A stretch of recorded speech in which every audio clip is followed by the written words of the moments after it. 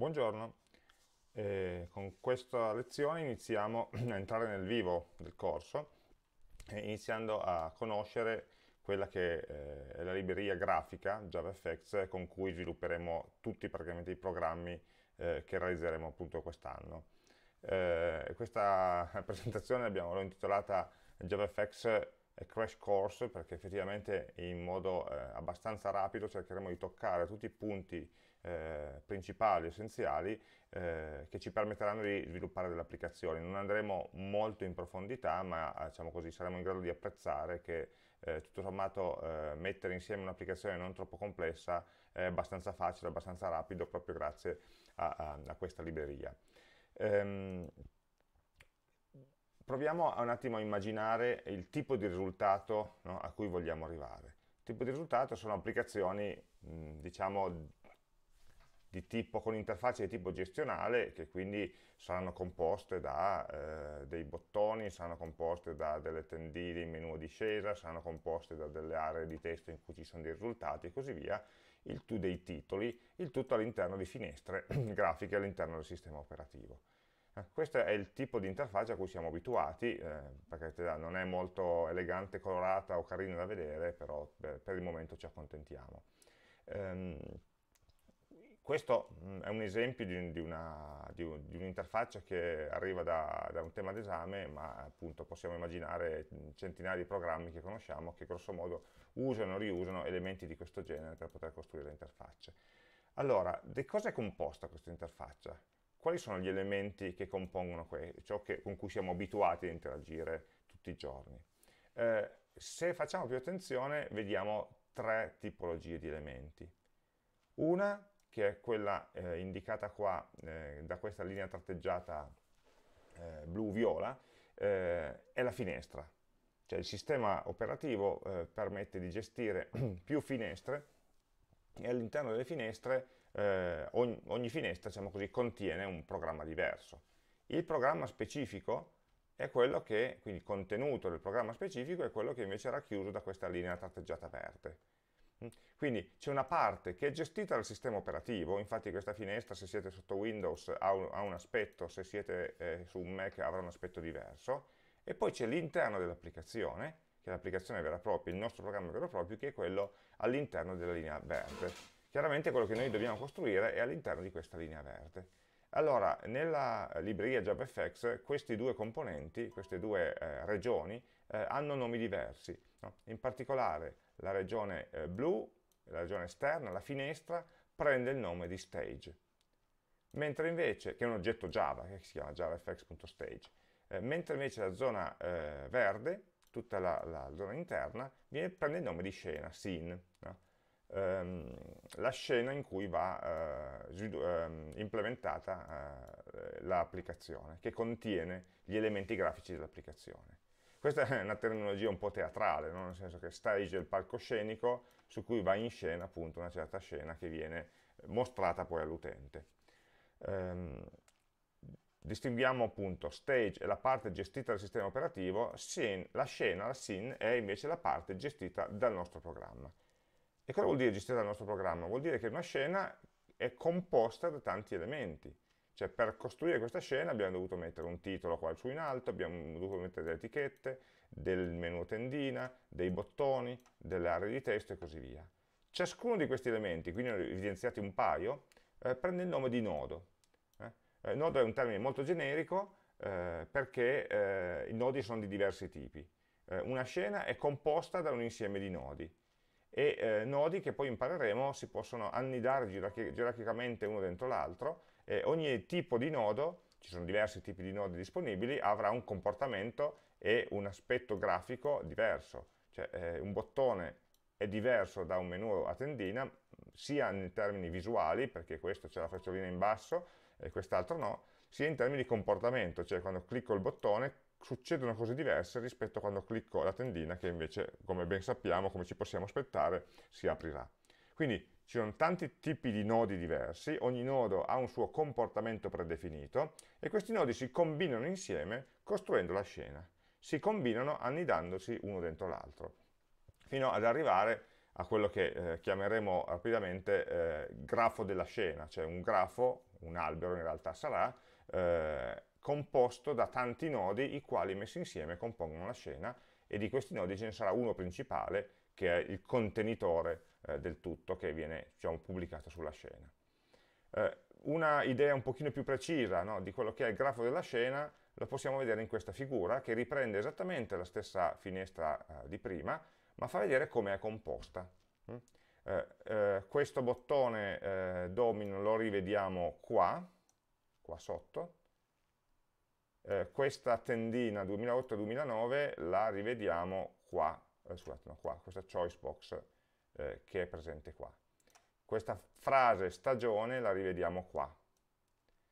Quindi se proviamo a leggerlo vediamo che la scena è composta da un contenitore, da un nodo contenitore che si chiama border pane, è un tipo di nodo, quelli che si chiamano con nome pane impareremo a, a, a riconoscerli come contenitori, cioè nodi che di per sé non mostrano nulla ma contengono gli altri e permettono di allinearli. Questo border pane divide la scena in cinque regioni, alto, basso, sinistra, destra e centro, eh, e poi possiamo decidere che cosa va nelle cinque regioni. Ad esempio nella regione in alto c'è una label, quindi questo titolo qui altro non è che un nodo di tipo label che è stato inserito all'interno della regione alta del border pane principale.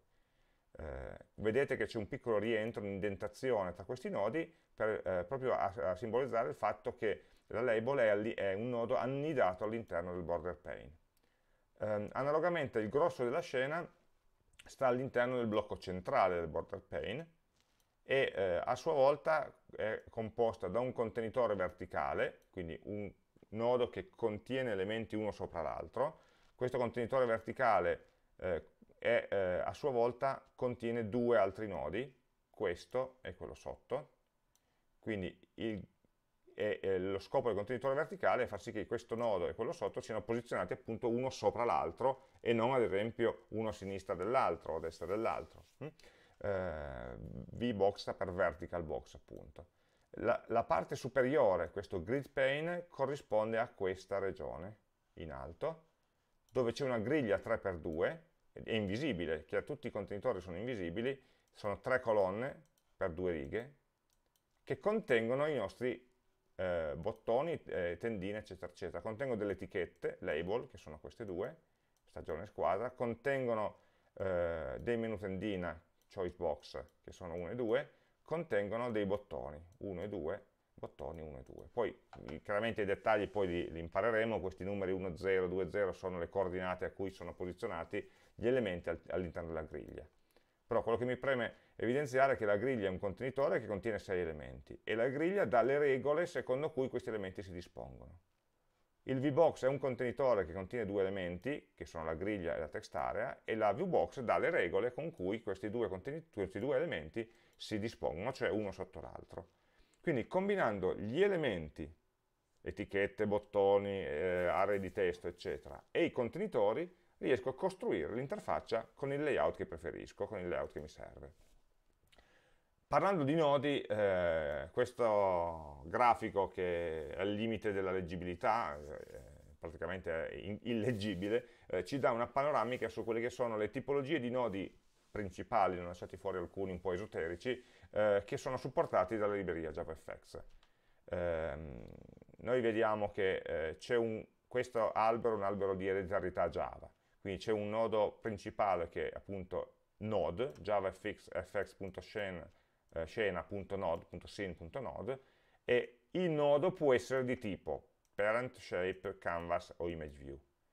Eh, noi lavoreremo eh, principalmente con, con, con, la prima grossa parte della gerarchia. Shape serve per disegnare delle forme, quindi vedete che ci sono nodi a forma di linea, cerchio, arco, se vogliamo disegnare delle figure. Ma altrimenti per costruire interfacce diciamo, interattive eh, lavoriamo principalmente con questi nodi. Eh, chiama, sono tutti sotto una superclasse che si chiama parent, eh, il genitore, perché la maggior parte di questi può a sua volta contenere dei figli.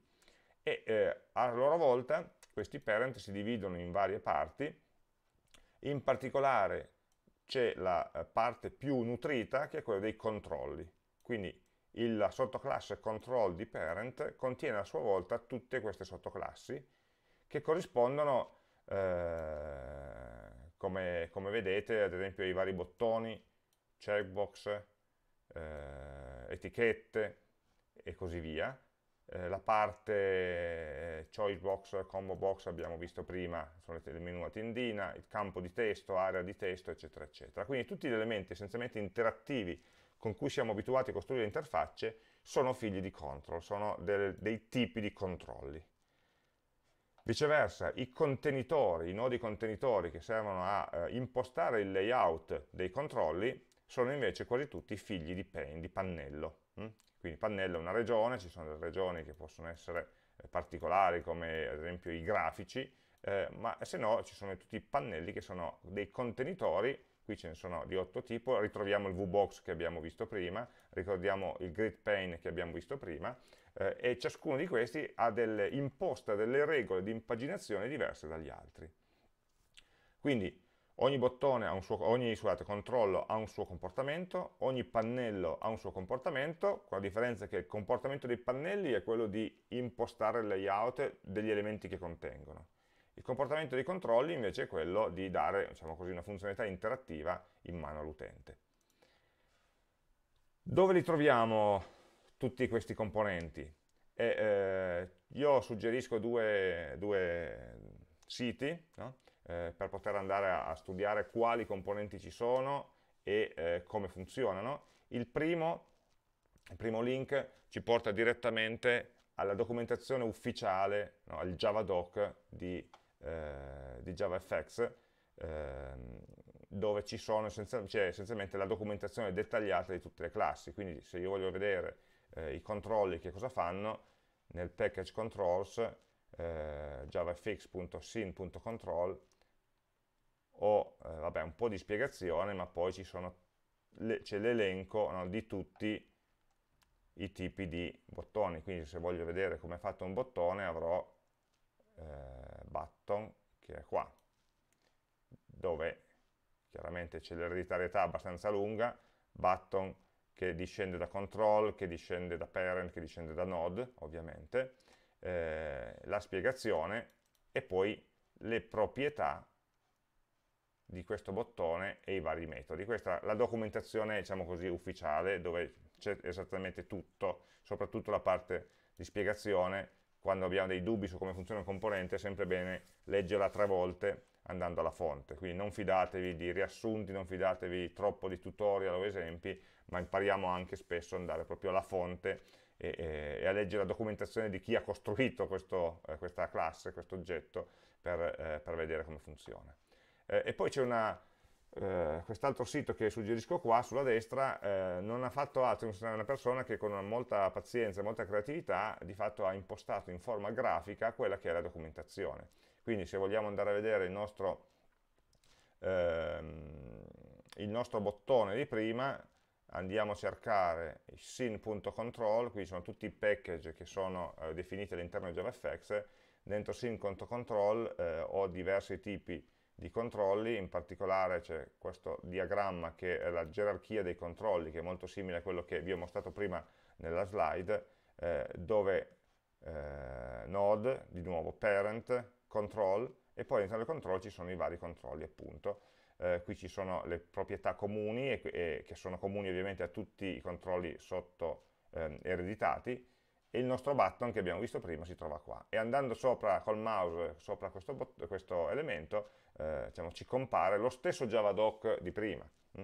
eh, in una forma chiaramente diciamo, riassunta, ma eh, ci sono eh, comunque tutte le informazioni che ci servono, e in una forma forse un pochino anche più facile da, da, da, da consultare perché abbiamo la vista d'insieme eh, di, di, tutti questi elementi. Um, ok, questi sono gli ingredienti base. Come è fatto un programma usando la libreria JavaFX? Quindi nella libreria JavaFX abbiamo detto che costruiamo eh, una scena inserendo dei nodi all'interno di questa scena. Questi nodi possono essere nodi di, di layout, quindi dei pannelli, oppure dei nodi di, eh, effettivi di interazione, cioè dei controlli. Quindi semplificando abbiamo una scena che contiene dei pannelli, dei pane, che sono dei contenitori di layout, all'interno dei quali ci sono dei controlli. Tutto questo viene gestito dal motore diciamo, della libreria JavaFX che permette da, di costruire l'applicazione. Allora, questo motore avrà una, una, un avvio di questo tipo. Questo qua è il codice, quello che stiamo mostrando adesso, è uno scheletro del codice tipico no, di un'applicazione JavaFX. Quali sono gli ingredienti principali? Allora, riconosciamo innanzitutto che il nostro programma, qui definisce una classe che ha il metodo main, no, che è il punto di avvio del programma, eh, innanzitutto deve essere il nostro programma, tutto il nostro eh, programma deve estendere la classe application. Application che cos'è? Application è una classe astratta di JavaFX, javafx.application.application. Quindi il nostro programma deve estendere application. Cosa vuol dire? Vuol dire che eh, la classe application ha già innati dentro di sé una serie di comportamenti nativi che deve avere qualunque applicazione grafica. Quindi la nostra classe main non fa altro che usare questi comportamenti nativi e personalizzarli, quindi gestire, gestisce un suo ciclo di vita, sa come aprire e chiudere le finestre, sa come ridimensionarle, sa come gestire gli eventi, eccetera, eccetera. Tutto questo per fortuna lo fa già la classe madre application e noi nel nostro programma non ce ne dobbiamo più curare, non, non dobbiamo più eh, diciamo così, implementare. Un'applicazione ha un suo ciclo di vita eh, e mh, mm, vedete la stranezza, nel main non si fa praticamente nulla. Nella classe main del mio programma l'unica cosa che devo fare è chiamare un metodo launch. Chi lo definisce questo metodo? Non l'ho definito io di sicuro, non c'è qua nel mio codice. Questo metodo launch è definito dentro application. Quindi la classe application non sa ancora che programma farò, ma un metodo, predispone un metodo launch che eh, deve essere chiamato dal main. Quindi all'avvio del mio programma Java fa partire il main, il main non fa altro che chiamare il metodo launch della classe madre application. Questo metodo launch fa un po' di cose, hm?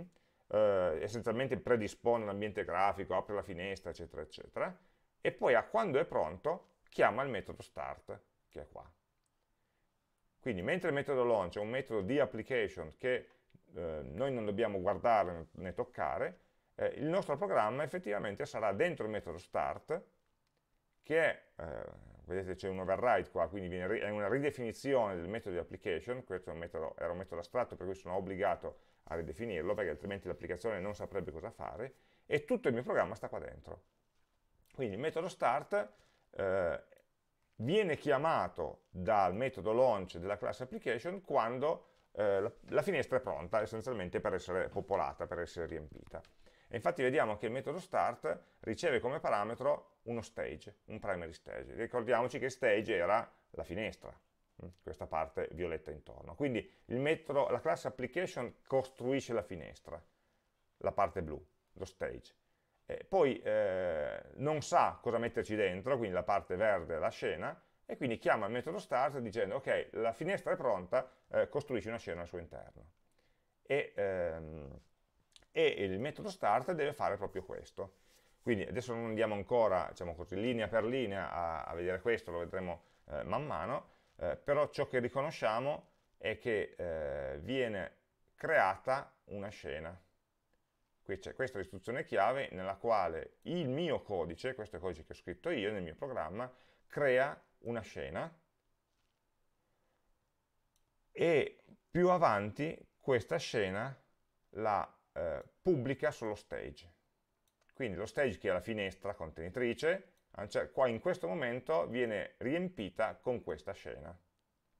Scena che ho creato qui e che riempio con eh, un elemento radice, un nodo radice, in questo caso un border pane, lo chiamo radice perché è quello più in alto di tutti, che contiene il resto della scena contiene i bottoni, contiene le, tendine, eccetera, i menu tendine, eccetera, eccetera, e come fa a contenerli? E, eh, lo vedremo tra un attimo, carica un file, che in questo caso si chiama seria.fxml, che contiene la descrizione dei nodi da creare.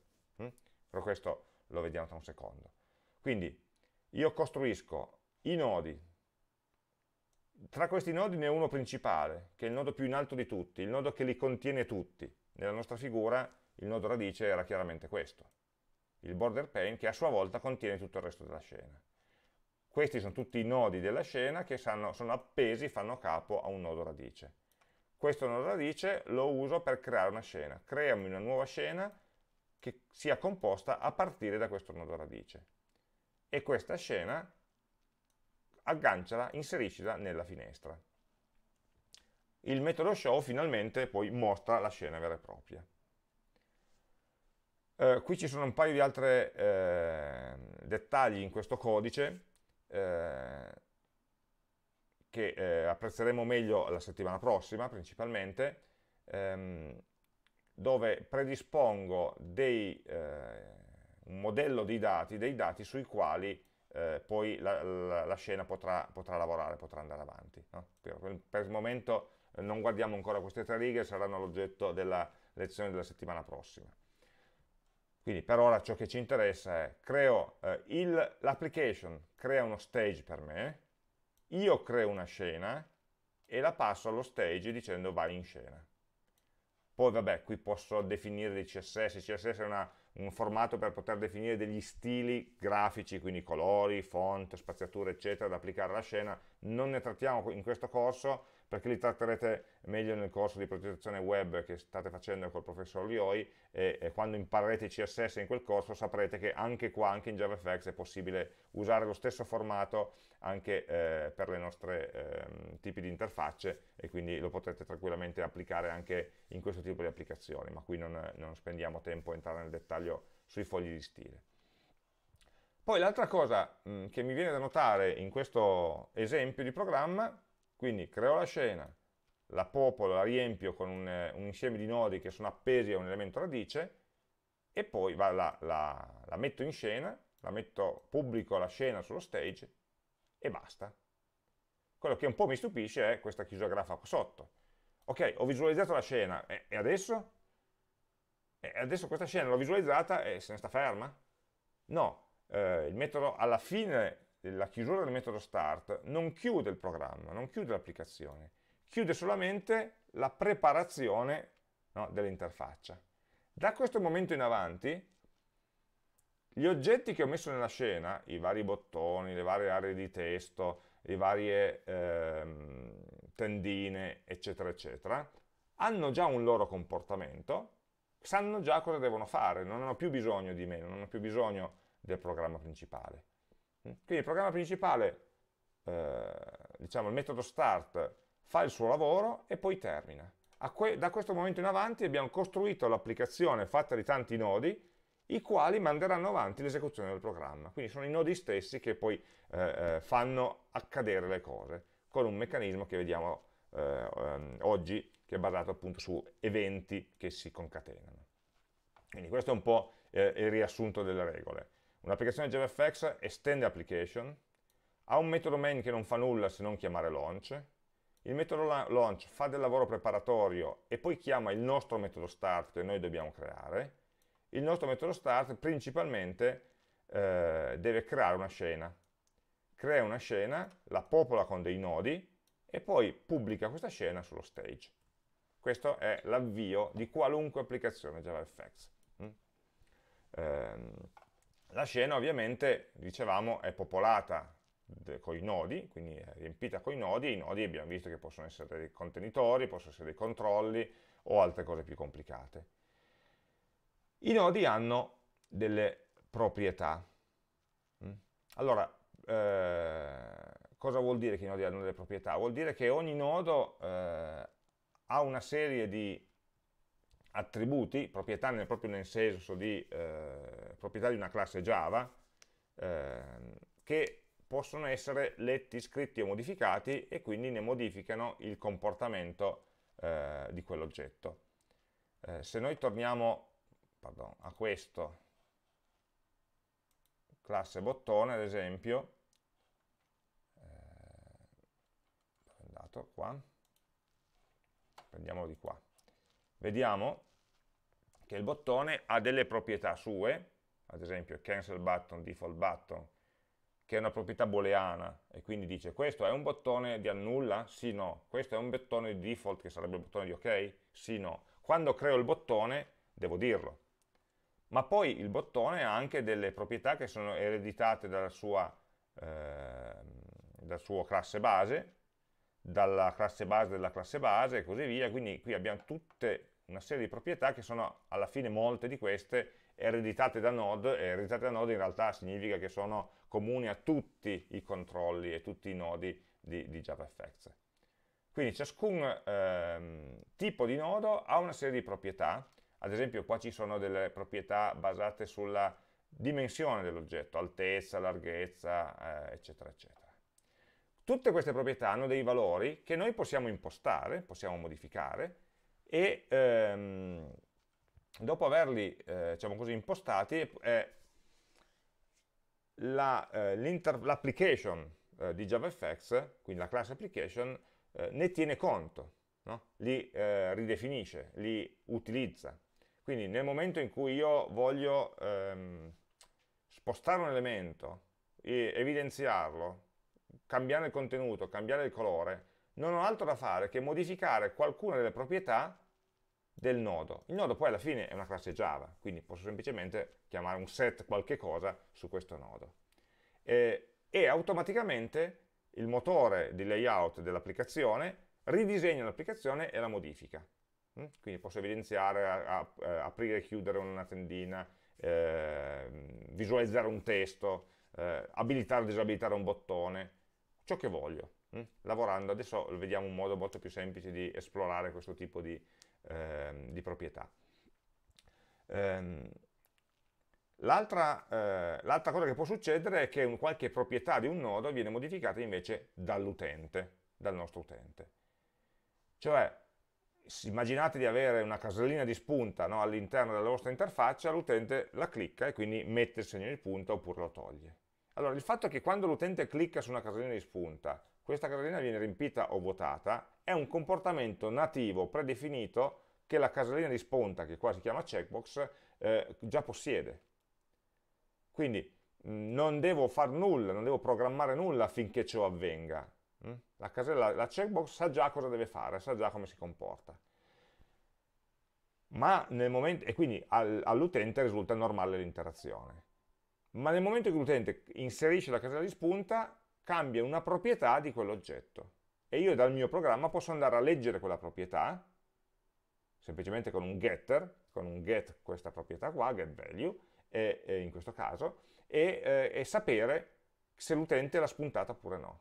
Oppure se l'utente scrive qualcosa in una casella di testo, io anche qua ho eh, una proprietà che si chiama text, che è definita sulla casella di testo, e quindi col metodo getText riesco a sapere, a leggere il valore della proprietà text, la quale è stata impostata dall'utente scrivendoci qualcosa dentro. Quindi l'interazione tra l'utente e l'interfaccia avviene tutta attraverso le proprietà dei nodi. Quando il programmatore cambia una proprietà di un nodo, allora l'interfaccia si adegua e quindi l'utente vedrà che qualcosa è cambiato. Quando l'utente modifica qualche cosa, chiaramente nei nodi che può modificare, allora automaticamente l'applicazione la, ehm, aggiornerà la proprietà opportuna del nodo che l'utente ha modificato. E quindi tutti questi nodi non sono altro che l'interfaccia tra l'utente e, eh, e l'applicazione, il nostro programma. Dicevo, come facciamo a eh, diciamo così, capire un po' meglio come funziona questo meccanismo? Ma lo possiamo fare eh, a, direttamente aprendo un piccolo progetto e proviamo a fare un piccolo progetto di prova. Ehm, allora, se noi ricordiamo diciamo così, la procedura di creazione di un nuovo progetto, creiamo un progetto da Maven e lo chiamiamo, eh, sempre dobbiamo prendere l'archetipo che abbiamo preparato per il corso, quindi TDP, eccolo qua, e eh, questo, mm, questo progetto lo chiamiamo JavaFX Crash Course,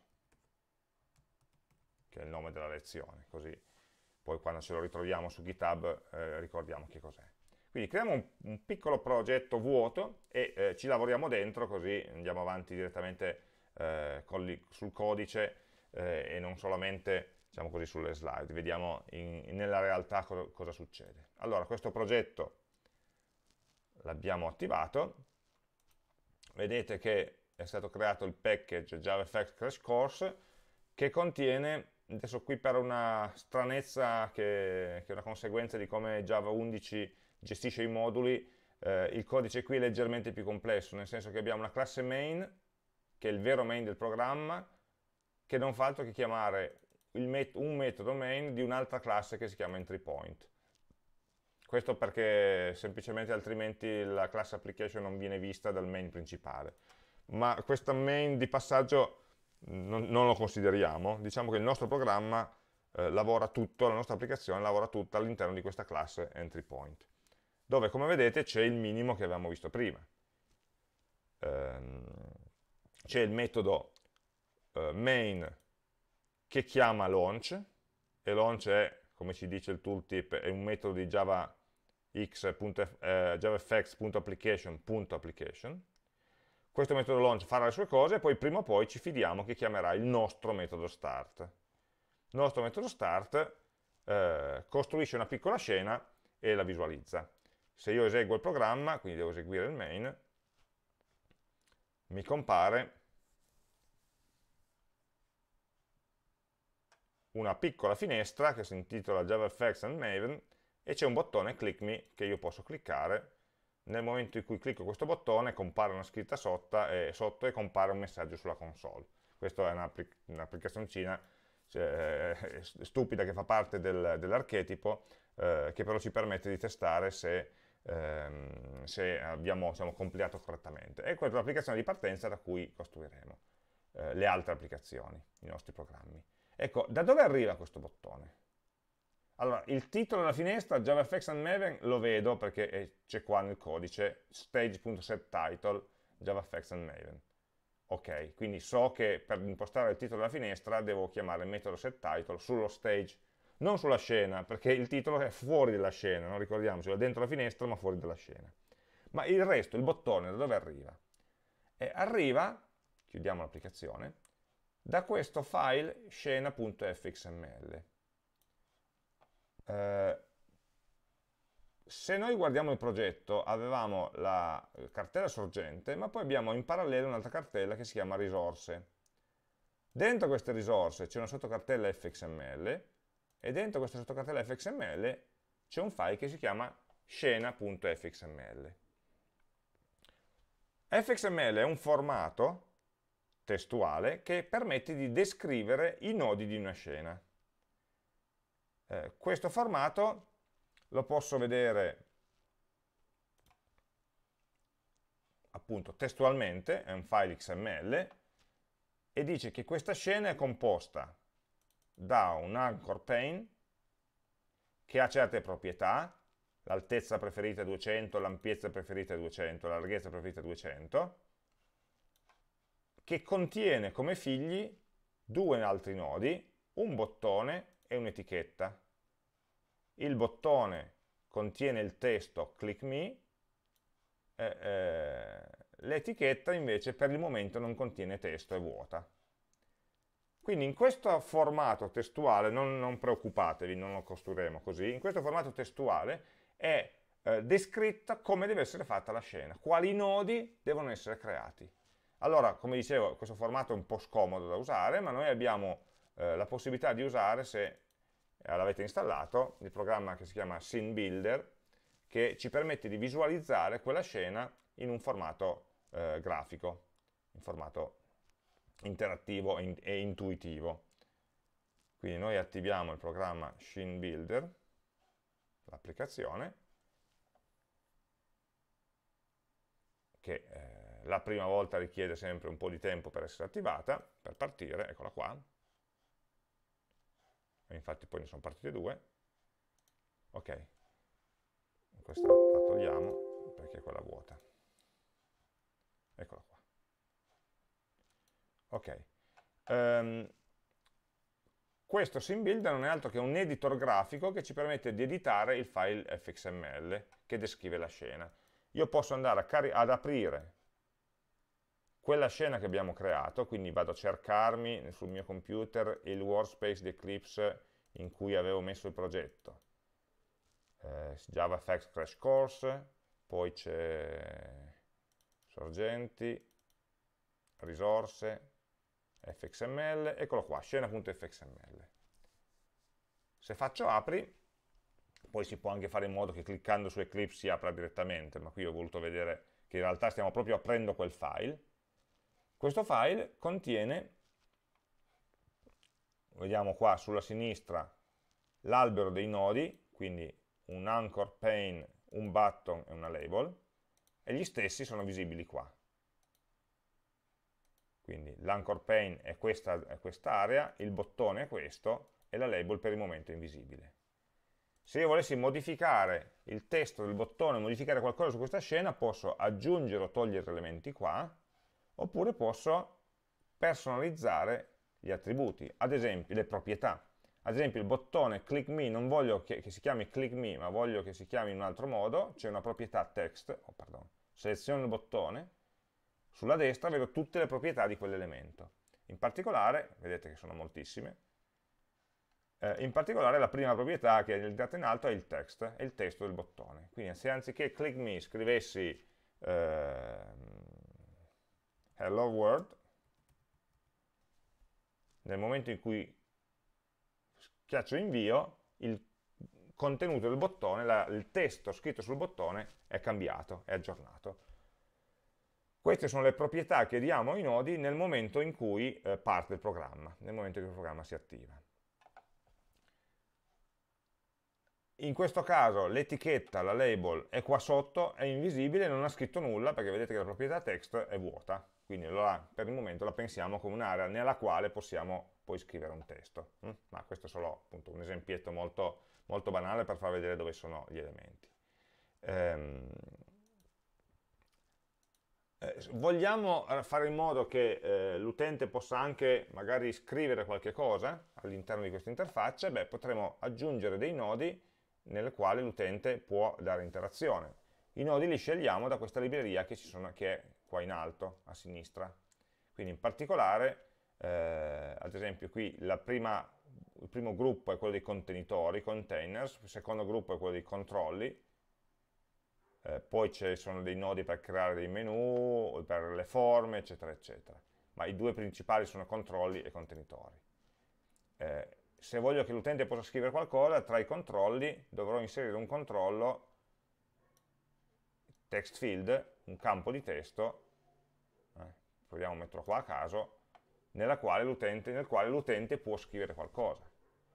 Eh, quindi tutti i controlli sono, che possiamo utilizzare sono, diciamo così, li trovate in questo menu controls, mentre invece tutti i contenitori di layout li trovate nel menu containers, poi vediamo tra un attimo come funzionano.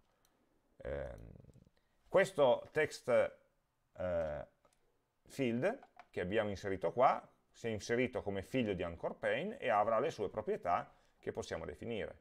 Ad esempio il text field ha due proprietà di tipo testuale, una che si chiama prompt text e l'altra che si chiama text. Prompt text è il testo che compare nella, nella casella di testo quando l'utente non ha ancora scritto nulla, cioè di solito compare in grigino, inserisci qualcosa no? e lui in, in grigio leggero eh, c'è scritto inserisci qualcosa così l'utente sa che cosa deve inserire, mentre il testo lo posso inserire e quindi compare nero, oppure normalmente lo lascio vuoto e questo testo verrà inserito dall'utente. Verrà inserito dall'utente se l'utente ha il permesso di modificare il testo e quindi vedete un'altra proprietà, di solito le proprietà che sono messe più in alto sono quelle più importanti, eh, editable vuol dire che la casella può essere modificata dall'utente oppure no. Quindi se, se, è editable sì, questa casella potrà essere modificata dall'utente, se è editable no, questa casella non potrà essere modificata dall'utente. E vabbè, io faccio queste cose, modifico questo file fxml e poi lo posso salvare. Salvando questo file io ho modificato eh, il tipo di scena che eh, voglio che il mio programma possieda. Poi ne faremo qualcuna un pochino più carina. Allora, in questo caso, se io torno su Eclipse, vedo che in realtà il file è cambiato, perché ad esempio è comparso un text field. Eh, facciamo attenzione che a volte Eclipse non si accorge che il file è cambiato, quindi conviene tenere aperto il file fxml, così Eclipse ogni volta lo va a rileggere, perché può succedere che voi modificate qualcosa con lo scene builder e eh, tornate su Eclipse e non, non, è cambiato nulla nel vostro programma, semplicemente perché Eclipse non si è accorto che il file è cambiato, visto che noi l'abbiamo modificato con un programma esterno. Fatto questo, se io torno su main e rilancio il programma, vedrò che, eccolo qua, compare, è comparsa anche questa casella di testo nella quale posso scrivere perché ovviamente era editable. E, eh, e, e compare questo in grigino il testo di invito, inserisci qualcosa eh, nel momento in cui l'utente deve inserire qualcosa. Quindi con questo strumento posso in modo eh, grafico interattivo costruire gli elementi della scena. Non solo, posso anche eh, andare in modalità preview e mi apre, mi costruisce lo sim builder, mi costruisce al volo una finestra simile a quella del programma vero e proprio. Così posso anche non solamente editare gli elementi, ma vedere nel loro complesso come, eh, come si comportano. Come si comportano ovviamente in modo limitato, nel senso che se io premo il bottone Hello World non fa nulla. Il bottone fa il lavoro del bottone, cioè se ci vado sopra col mouse si emoziona, quindi si cambia colore, se lo premo cambia colore, eccetera. Questo è il comportamento innato del bottone. Però il fatto che quando premo questo bottone, dov'è la mia applicazione Java? Questa è l'applicazione vera. Quando premo il bottone lui scriva qua sotto Hello World, il bottone non lo sa perché è un comportamento che ho deciso io. Quindi in questa preview della scena ho il comportamento nativo dei singoli elementi, ma non ho il comportamento dell'applicazione che li deve usare. Però può essere utile sicuramente per vedere anche so, come si comporta la scena, se la, se la, se la, mm, se la ridimensiono o altro. Come fa l'applicazione a tenere conto dell'fxml che, eh, che ho costruito? Semplicemente con questa classe lo, fxml loader cioè io posso costruirmi una scena, eccola qua la scena, andando a inserire i nodi uno a uno, creandoli come classe Java. Quindi io potrei scrivere eh, new button, new text field, eccetera, eccetera, e creare tutti questi eh, elementi eh, uno a uno. E lì e come oggetti Java, direttamente dal codice Java ma eh, è molto più comodo inserirli dentro un file fxml e poi usare questa classe fxml che ovviamente fa parte della libreria JavaFX, a cui diciamo, senti, leggiti questo file fxml, crea tutti eh, i nodi, tutte le classi Java che servono e costruiscimi un albero di nodi che poi io posso usare direttamente per, per crearmi la mia scena. Quindi questa istruzione qua va a leggere il file sim.fxml quando il programma si avvia, crea tutti i nodi e poi con questo io posso creare la scena da mandare in stage. Quindi questa istruzione qua è quella che collega l'fxml alla, uh, alla, vera e propria uh, uh, interfaccia. Una volta che ho fatto questo, i vari nodi, bottone, test area di testo, eccetera, eccetera, non sono più, um, non sono più um, semplicemente delle linee di testo in un file fxml, ma diventano dei veri e propri oggetti Java su cui possiamo agire. E adesso eh, tra un attimo vediamo anche come si può interagire. Quindi ci mancano a questo punto almeno due ingredienti. Mm, questo diciamo così, è, il, minimo per partire, gli altri due ingredienti che ci mancano sono uno, come fare a, a usare i contenitori e i controlli eh, in modo da eh, costruire delle interfacce grafiche eh, tutto sommato eh, non solo belle da vedere, questa è la nostra priorità, ma eh, che siano abbastanza flessibili, versatili. No? Eh, come abbiamo fatto prima, abbiamo mh, direttamente spostato eh, un elemento graficamente di 10 pixel più in alto, più in basso, più a sinistra, però voi capite che se ho tanti elementi, se devo posizionare tutti uno a uno, sto facendo un lavoro abbastanza eh, di basso livello e, e, impreciso, quindi anche l'interfaccia grafica mm, sarà eh, brutta da vedere, ma poi soprattutto nel momento in cui l'utente ha una finestra un po' più grande, un pochino più piccola, eh, gli, gli, oggetti non, sono, non, si spostano, non occupano lo spazio disponibile e così via. Quindi dobbiamo usare, imparare a usare i contenitori, che non è solo questo anchor pen che è il contenitore più stupido, che nel senso che contiene gli elementi e gli dici tu dove metterli, ma gli altri contenitori, quindi per il layout. La seconda metà invece che dobbiamo imparare è il comportamento, cioè cos'è che dice al bottone Hello World che quando viene premuto eh, deve far scattare, eh, deve far modificare un testo. Mm. Allora, questi sono i due eh, elementi che ci permettono appunto sia di creare un layout complesso, un pochino più complesso, sia di ehm, dare un comportamento dinamico a questi eh, elementi. Allora, per ragioni anche di, di brevità, di facilità, di, di visione, io eh, interrompo qua questo video e ne apriamo un altro subito dopo dove andiamo a approfondire questi due passaggi.